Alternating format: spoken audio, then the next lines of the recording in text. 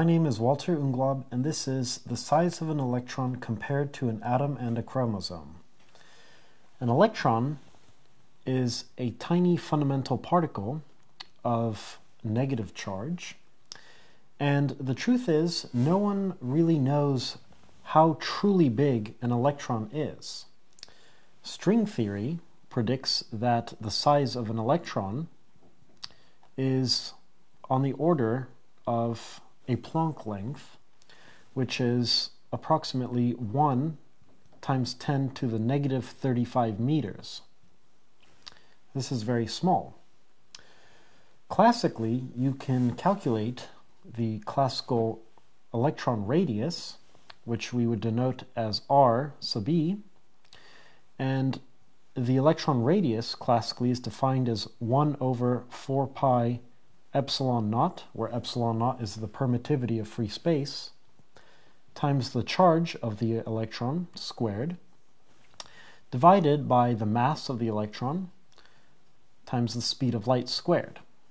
So the classical radius, or size of the electron in this case, would be approximately 2.82 times 10 to the negative 15 meters considerably larger than something uh, that string theory would predict.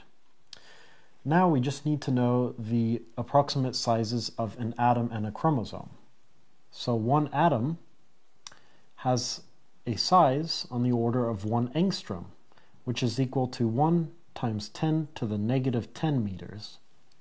Whereas a chromosome, well, the size can vary just like the size of an atom can vary. But the order of magnitude of an X chromosome is approximately 7 micrometers or micrometers. This is equal to 7 times 10 to the negative 6 meters. So, if we're interested in comparing the size of an electron to an atom and an X chromosome classically, then we would use the classical radius. And for an atom, compared to an electron, the atom would be 35,500 times larger than the electron, whereas the X chromosome would be approximately 2.5 billion times larger than an electron. If we're to assume that the electron size is truly on the order of a, Planck, a Planck length, such as string theory would predict,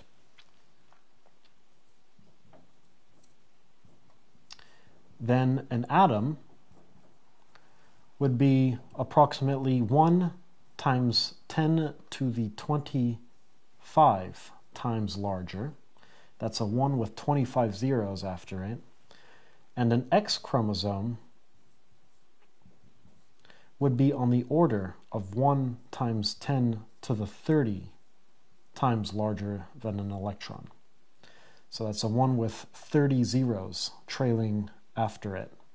So five orders of magnitude larger than an atom.